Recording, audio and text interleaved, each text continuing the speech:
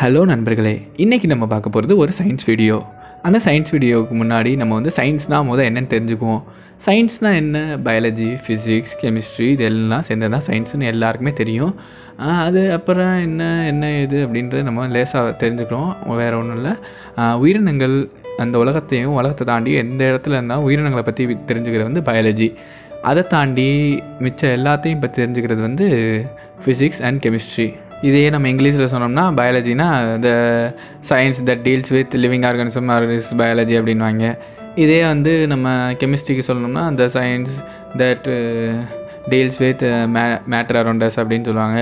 இதே நம்ம ஃபிசிக்ஸ் சொல்லணும்னா the science that deals with nature is known as physics அப்படின்வாங்க இதெல்லாம் நமக்கு தேவையில்லை. நமக்கு என்ன தேவையோ அதை மட்டும் தெரிஞ்சு வச்சுட்டா போதும். இதுக்கு மேலே சயின்ஸை பற்றி நம்ம பேச வேணாம். வேணும்னா நம்ம பின்னாடி பார்த்துக்குவோம்.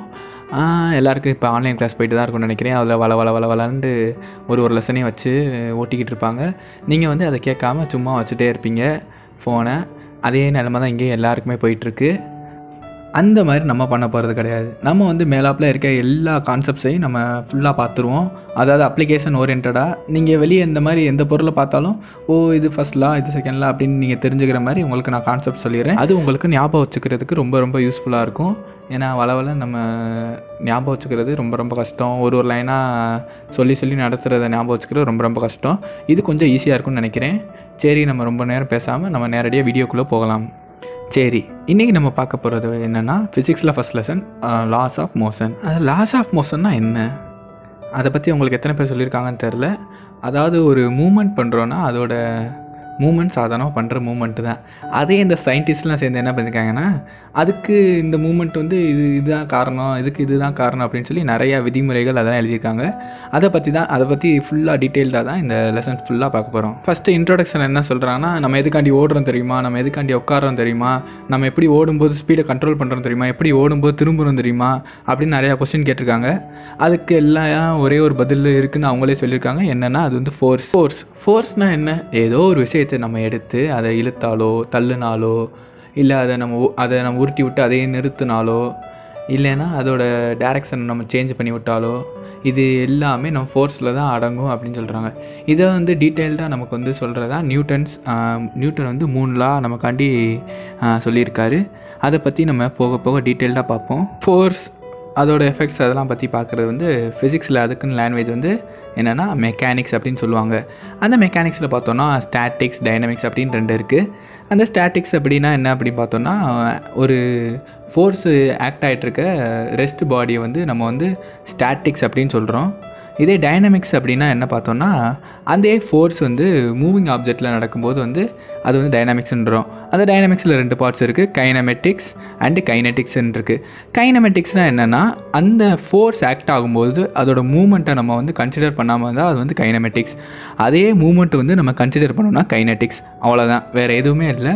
இன்ட்ரொடக்ஷன் முடிஞ்சு போச்சு நம்ம நேரடியாக இப்போ லெசனுக்குள்ளே போகலாம். இந்த லெசனோட ஸ்டார்டிங்கில் பார்த்தோன்னா ஃபோர்ஸ் அண்ட் மோஷன் போட்டு அரிஸ்டாட்டிலும் கலீலியும் அவங்க பாயிண்ட் ஆஃப் வியூவிலேருந்து என்னென்ன கண்டுபிடிச்சிருக்காங்களோ அதை ஃபுல்லாக சொல்லியிருக்காங்க. ஃபஸ்ட்டு பார்த்தோன்னா அரிஸ்டாட்டில் கொடுத்த ஸ்டேட்மெண்ட்ஸ்லாம் என்ன அப்படின்னு பார்த்தோன்னா இந்த உலகத்தில் இருக்க எல்லா பொருளுமே வந்து ரெஸ்ட்டில் தான் இருக்குது அப்படின்னு சொல்லியிருக்காரு. சரி அப்படி பார்த்தோன்னா அவர் சொன்னது எல்லாம் சரிதான். சும்மா எதுவுமே நம்ம அசைக்காமல் எதுவுமே பண்ணாமல் இருந்தோம்னா எல்லாமே ரெஸ்ட்டில் தான் இருக்கும். ஒருவேளை அப்படி அசைகிற பொருளாகவே இருந்தாலும் அது வந்து தானாகவே எந்த ஒரு எக்ஸ்டர்னல் ஃபோர்ஸும் நம்ம கொடுக்காம அது வந்து ரெஸ்ட்டுக்கு வந்துடும் அப்படின்றாரு. அந்த மாதிரி வந்துச்சுன்னா அதை வந்து நேச்சுரல் மோஷன் அப்படின்னு சொல்கிறாரு இயற்கை மூ இயக்கம் அப்படின்னு சொல்கிறாரு அது போக அப்படி நம்ம ஆகாமல் ஃபோர்ஸ் ஒரு எக்ஸ்டர்னல் ஃபோர்ஸ் ஒன்று அப்ளை பண்ணோன்னா அப்படி அப்படி அப்ளை பண்ணோன்னா அது வந்து வைலண்ட் மோஷன் அப்படின்னு சொல்கிறாரு அதாவது நம்ம எக்ஸ்டர்னலாக ஒரு பொருளை வந்து தள்ளி விடுறதோ இல்லை நிறுத் வ- வர பொருளை வந்து நிறுத்துறதோ அப்படி நம்ம வந்து பண்ணோன்னா அது வந்து வைலண்ட் மோஷன் அப்படின்னு அவர் சொல்கிறாரு அதுக்கப்புறம் பார்த்தோன்னா ஒரு நமக்கு தெரிஞ்ச எல்லாருக்கும் தெரிஞ்ச விஷயம்னா ஒரு வெயிட்டான பொருளையும் ஒரு வெயிட் கம்மியான பொருளையும் தூக்கி போட்டோன்னா வெயிட்டான பொருள் தான் மொதல் வந்து விலகும் அப்படின்றாரு. அது வந்து நம்ம எல்லாருக்குமே தெரிஞ்ச விஷயந்தான் அதில் வந்து நம்ம எக்ஸ்பிளைன் பண்ணுங்கிற அவசியம் எதுவுமே கிடையாதுன்னு நினைக்கிறேன். அதுக்கப்புறம் பார்த்தோன்னா கலீலியோ வந்து ஒரு நாலு பாயிண்ட் சொல்கிறாரு அதாவது ஃபஸ்ட்டு பாயிண்ட் பார்த்தோன்னா அரிஸ்டாட்டில் சொன்ன விஷயம் தான் அதில் கொஞ்சம் மசாலா தூர மாதிரி இவர் கொஞ்சம் மாற்றி சொல்லியிருக்காரு. இந்த உலகத்தில் இருக்க எல்லா விஷயமும் ரெஸ்ட்டில் இருக்கும்னு அரிஸ்டாட்டில் சொல்லியிருக்காரு. இவர் வந்து இந்த உலகத்தில் இருக்க எல்லா பொருளும் ஒன்று ரெஸ்ட்டில் இருக்கும் இல்லைன்னா ஏதாச்சும் ஒரு மூமெண்ட்டில் இருக்கும் அப்படின்னு சொல்லியிருக்காரு. செகண்ட் பாயிண்ட் பார்த்தோன்னா என்ன சொல்கிறாருன்னா ஒரு பொருள் ஒரு மூமெண்ட்டில் இருக்கும்போது நம்ம வெளியே இருந்து அதை புஷ் புஷ்ஷோ இல்லை புல்லோ பண்ணிகிட்டே இருந்தோம்னா அந்த பொருளோட மூமெண்ட் வந்து நிற்கவே நிற்காதுன்னு சொல்லியிருக்காரு. இது வந்து நம்ம எல்லாருக்குமே தெரிஞ்சது தான் ஏன் நான் தெரிஞ்சது அப்படின்னு சொல்கிறேன் அப்படின்னு ஒரு எக்ஸாம்பிள் மட்டும் இதுக்கு சொல்லிக்கிறேன். இப்போ நம்ம சைக்கிள் ஓட்டுறோம். சைக்கிள் ஓட்டுறோன்னா சைக்கிள் நம்ம ஓட்டுற நிறுத்துற வரைக்கும் ஓடிட்டே தானே இருக்கும் சைக்கிள் இதை தான் வந்து அவர் கொஞ்சம் மாற்றி ஃபிசிக்ஸ் லாங்குவேஜ் சொல்லியிருக்காரு. வேறு ஒன்றுமே இல்லை. தேர்டு பாயிண்டில் என்ன சொல்லியிருக்காருன்னா அதோட ஃபோ ஒரு ஃபோர்ஸ் நம்ம ஒரு பொருள் மேலே அப்ளை பண்ணும்போது அதோட நிலையிலேருந்து அது சேஞ்ச் ஆச்சுன்னா அது வந்து இனர்ஷியா அப்படின்னு ஒரு புது டேமாலாம் சொல்லியிருக்காரு. இது வந்து உங்களுக்கு அவ்வளோவா புரிஞ்சிருக்காதுன்னு எனக்கு தெரியும்.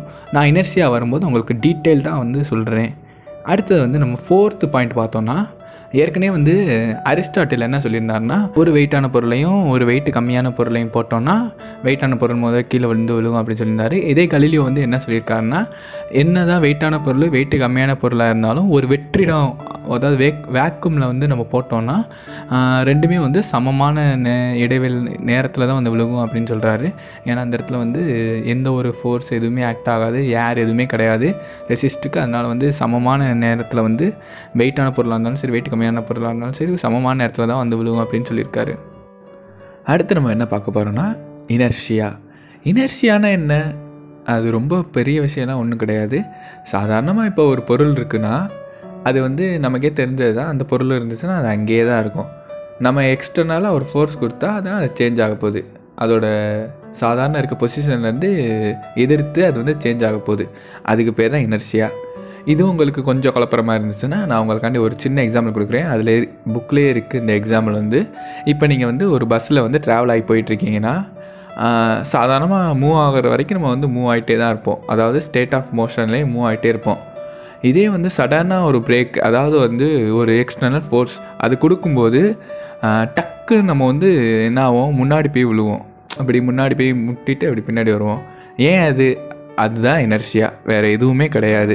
எக்ஸ்டர்னலாக ஃபோர்ஸ் கொடுக்கும்போது சாதாரணமாக இருக்க பொசிஷன்லேருந்து அதோட நிலையை சேஞ்ச் பண்ணுறது தான் வந்து இனர்ஷியா சரி இனர்ஷியாவை பற்றி பார்த்தாச்சு. இனர்சியாவே ஒரு சின்ன விஷயந்தான் அதுலேயும் பார்த்தோன்னா மூணு டைப்ஸ் இருக்குது inertia of rest inertia of motion inertia of direction இப்போ வந்து நம்ம அதை வந்து எக்ஸாம்பிள்ஸோடு பார்த்துருவோம் அப்படியே. இனர்சி ஆஃப் ரெஸ்ட் அப்படின்னா என்ன? அதாவது அதே தான் ஒரு பாடி வந்து அதோட ரெஸ்ட் பொசிஷன்லேருந்து சேஞ்ச் ஆச்சுன்னா அது வந்து இனர்சி ஆஃப் ரெஸ்ட்டு அதாவது உதாரணத்துக்கு வந்து அவங்களே ஒரு ஆக்டிவிட்டி மாதிரி கொடுத்துருக்காங்க. ஒரு டம்ளரில் வந்து ஒரு டம்ளரில் வந்து நம்ம வந்து மேலே கார்ட்போர்டு வச்சு அதில் வந்து நமக்கு வந்து கார்ட்போர்டெலாம் இல்லைன்னா ஒரு பேப்பர் வச்சுருவோம். பேப்பர் வச்சு அதில் ஒரு அஞ்சு ரூபா காயின் வச்சிங்கன்னா இங்கேல இதே நீங்கள் வந்து வெயிட் லெஸ்ஸான காயின் வச்சிங்கன்னா நீங்கள் இழுக்கும்போது பேப்பரோடையே சேர்ந்து வந்துடும் அந்த அஞ்சு ரூபா காயின் வச்சிங்கன்னா கிராவிடேஷனல் ஃபோர்ஸ் வந்து கீழே இருக்கும் இனர்சி ஆஃப் ரெஸ்ட்டில் இருக்க அந்த அஞ்சு ரூபா காயின் வந்து நம்ம அந்த பேப்பரை எடுத்தோடனே கிராவிடேஷனல் ஃபோர்ஸ்னால் டக்குன்னு கீழே போகுது. அதுதான் வந்து இனர்சி ஆஃப் ரெஸ்ட் அது அதே புக்கில் வந்து இன்னொரு இடத்துலையும் இன்னொரு எக்ஸாம்பிள் கொடுத்துருக்காங்க. அதாவது நம்ம ட்ரீயை போட்டு நாங்கள் நல்லா ஆட்டினோன்னா மேலே இருந்து இலையும் அப்புறமேட்டு பழம் அதெல்லாம் விழுகும் அப்படின்னு சொல்லியிருக்காங்க. அது என்ன? அதுவும் எனர்ஜி ஆஃப் ரெஸ்ட் தான். ஏன்னா அது ரெஸ்ட்டில் இருக்க அந்த பழம் வந்து நம்ம ஆட்டுற அந்த ஃபோர்ஸ்னால டக்குன்னு கீழே விழுகுது. அது கிராவிடேஷனல் ஃபோர்ஸ்னால் வேறு ஒன்றுமே கிடையாது. அடுத்து inertia of motion inertia of மோஷன்னா என்ன? அதுவும் அதே தான் வேறு ஒன்றுமே கிடையாது. இது- அது வந்து ரெஸ்ட்டில் இருக்க ஒரு ஆப்ஜெக்ட் வந்து அதோட பொசிஷனை சேஞ்ச் பண்ணால் இனர்சி ஆஃப் ரெஸ்ட்டு அது எது ஒரு மூவிங் ஆப்ஜெக்டில் இருக்கிறத வந்து அதோட பொசிஷன் சேஞ்ச் ஆச்சுன்னா அது வந்து இனர்சி ஆஃப் மோஷன் அதாவது இதுக்கு வந்து என்னென்ன சொல்கிறாங்க அப்படின்னா எக்ஸாம்பிள்ஸு ஒரு அத்லட் வந்து ஓடி போய் ஜம்ப் பண்ணுறால ஓடுறது வந்து அவரோட மோஷன் அந்த ஸ்டேட் ஆஃப் மோஷன் வந்து ஓடிட்டுருக்காரு ஆனால் அந்த ஜம்ப் பண்ணும்போது டக்குன்னு அதோட மோஷன் சேஞ்ச் ஆகுது பார்த்தீங்களா காலை ப்ரெஸ் பண்ணி ஜம்ப் பண்ணுறாரு அதோட பொசிஷன் வந்து சேஞ்ச் ஆகுது. அதான் வந்து எனர்ஜி ஆஃப் மோஷன் அப்படின்னு சொல்கிறாங்க அதே மாதிரி இந்த ஸ்கேட்டர்ஸ் போய் போய் எங்கிட்ட ஜம்ப் பண்ணுறது அதெல்லாம் வந்து இனர்சி ஆஃப் மோஷனில் தான் வரும் அப்படின்னு சொல்கிறாங்க அதுக்கப்புறம் பார்த்தோன்னா இனர்சி ஆஃப் டைரக்ஷன் அதுவும் அதே தான் ஒன்றுமே இல்லை. அதில் வந்து நம்ம ஒரு மோஷனில் போயிட்டு இருந்த ஆப்ஜெக்டை வந்து நம்ம வந்து பொசிஷன் சேஞ்ச் பண்ணோம். இங்கே வந்து என்ன சேஞ்ச் பண்ண போகிறோம்னா டேரக்ஷனை மட்டும் சேஞ்ச் பண்ண போகிறோம் வேறு ஒன்றுமே கிடையாது. இப்போ சாதாரணமாக அதே தான் பஸ்லேயே போகிறோம்னு வச்சுக்கோங்களேன். பஸ்லேயே போகும்போது டக்குன்னு ஒரு ரைட் டேனை போட்டோன்னா நம்ம எல்லோரும் அப்படியே ஒரு லெஃப்ட்டில் ஒரு சாய்வை போடுவோம். அது என்னது? அது ரைட் டேனில் போகும்போது நம்ம எதுக்காண்டி லெஃப்ட்டில் போகிறோம் அதுதான் வந்து இனர்சியா ஆஃப் டேரக்ஷன் வேறு ஒன்றுமே கிடையாது. இவ்வளோ தான் இனர்சியா இது போக உங்களுக்கு ஏதாவது டவுட் இருந்தால் நீங்கள் கமெண்ட் பண்ணுங்கள் நான் உங்களுக்கு அடுத்த வீடியோ ஸ்டார்டிங்கில் உங்களுக்கு திரும்பி சொல்கிறேன் இதுக்கப்புறம் நம்ம பார்க்க போகிறது என்னென்னா லீனியர் மொமெண்டம் என்னடா லீனியர் மொமெண்டம்னு ஒரு கார் போய் இடித்த படத்தை காமிச்சிட்ருக்காங்களே அப்படின்னு நீங்கள் பார்த்துட்ருப்பீங்க லீனியர் மொமெண்டம் அப்படின்னா வேறு ஒன்றுமே இல்லை. மொமெண்டம் அப்படின்னா நீங்கள் தெரிஞ்சுக்க வேண்டியது எல்லாமே ஒரு ஃபோர்ஸோட இம்பேக்ட் அதுதான் வந்து மொமெண்டம் அதை வந்து சரியாக நம்ம புரிஞ்சுக்காமல் இருக்கவங்க தான் இந்த மாதிரி விஷயம்லாம் நடக்கும். அதாவது இந்த சயின்ஸ் ஆஃப் ஸ்டூபிட்லாம் பார்த்தா தெரியும். அதே நிலமை தான் இங்கேயும். அந்த மொமெண்டம் வந்து நம்ம அதோட அந்த ஃபோர்ஸோட இம்பேக்ட் வந்து நம்ம புரிஞ்சுக்காமல் நம்ம வந்து அதிகமாக அதை வந்து நம்ம யூஸ் பண்ணோன்னா இதுதான் நம்மளோட நிலமை. அதாவது இந்த மாதிரி ஒரு விஷயம் நடக்கணும்னா அதோட வெலாசிட்டியும் அதோட மாஸும் ரொம்ப அதிகமாக இருந்துச்சுன்னா அதோட இம்பேக்ட் ஆஃப் ஃபோர்ஸ் வந்து ரொம்ப அதிகமாக இருக்கும் அப்படின்னு சொல்கிறாங்க இது வரைக்கும் இது வந்து உங்களுக்கு புரியலைன்னா நான் இப்போ திரும்ப தெளிவாக சொல்கிறேன் வெலாசிட்டினா அப்படின்னா என்னென்னே தெரியாதவங்களும் நான் திரும்பி சொல்கிறேன் வெலாசிட்டி என்னென்னா டைமை பொறுத்து தன்னுடைய ஸ்பீடை வந்து ஒரே டேரக்ஷனில் வந்து சேஞ்ச் பண்ணுறது தான் வந்து வெலாசிட்டி அது வந்து சேம் டேரெக்ஷனில் இருக்கிறதுனால வந்து நம்ம லீனியர் மொமெண்டம் அப்படின்னு சொல்கிறோம் அதுவும் அதோடைய பாடியோட மாஸும் சேர்ந்து எவ்வளவு இருக்கோ அதான் வந்து இம்பேக்ட் ஆஃப் எ ஃபோர்ஸ் அவ்வளோதான் வேறு ஒன்றுமே கிடையாது இந்த லீனியர் மொமெண்டம் அப்படிங்கிறது. லீனியர் மொமெண்டமுக்கு எக்ஸாம்பிளாக அந்த காரே எடுத்துக்கோ ஒன்றுமே இல்லை. அந்த காரோட வெயிட் எவ்வளோ இருக்குன்னு பார்த்தோம்னா ஒரு நூற்றம்பது இரநூறு கிலோ இருக்குன்னு வச்சுக்குவோம் ரவுண்டா எனக்கு அவ்வளோ தெரில அது நூற்றம்பது டு இரநூறுன்னு வச்சுக்குவோம். அதோட ஸ்பீடு வந்து ஒரு நூறுலேருந்து நூற்றி இருபதில் வந்திருக்குன்னு வச்சுக்குவோம். இப்போ லீனியர் மொமெண்டம் என்னென்னா அதோட வெலாசிட்டியையும் அதாவது அதோட ஸ்பீடையும் அதோட மாஸையும் நம்ம வந்து மல்டிப்ளை பண்ணோன்னா அதுதான் அதோட லீனியர் மொமெண்டம் அப்படின்னு சொல்கிறாங்க வேறு ஒன்றுமே கிடையாது. இந்த காரை வச்சு நம்ம மொத்தம் முடிச்சாச்சு.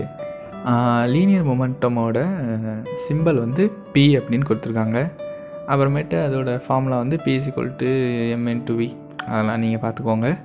அதோடய யூனிட் வந்து எப்படி டிஸ்கிரைப் பண்ணியிருக்காங்கன்னா மாஸ் வந்து கிலோகிராம்ஸு அப்புறமேட்டு வெலாசிட்டி வந்து மீட்டர் பெர் செகண்ட் அவ்வளோதான் அது ரெண்டையும் மல்டிப்ளிகேஷனில் போட்டிருக்காங்க. அவ்வளோதான் அதோட யூனிட்டு மிச்சம்லாம் அதில் வேறு ஒன்றுமே கிடையாது. அதுக்கப்புறம் மிச்சம் இருக்க மிச்சம் எல்லா டாப்பிக்கையும் நம்ம வந்து அடுத்த வீடியோவில் பார்ப்போம். உங்களுக்கு இதில் ஏதாவது டவுட் இருந்துச்சுன்னா நீங்கள் இப்போயே கமெண்ட்டில் போட்டுருங்க. அடுத்த வீடியோ போடும்போது அந்த அந்த டவுட்டை உங்களுக்கு கிளியராக நான் சொல்கிறேன் எந்த ஒரு டவுட்டும் இல்லைன்னா டவுட் இல்லைன்னு கூட கமெண்ட் பண்ணிடுங்க அப்போ எனக்கு தெரியும் உங்களுக்கு புரிஞ்சிருக்கா இல்லையா அப்படிங்கிறது. இது வரைக்கும் நம்மளோட வீடியோ பார்த்துருந்ததுக்கு ரொம்ப ரொம்ப நன்றி. அடுத்த வீடியோவில் பார்ப்போம்.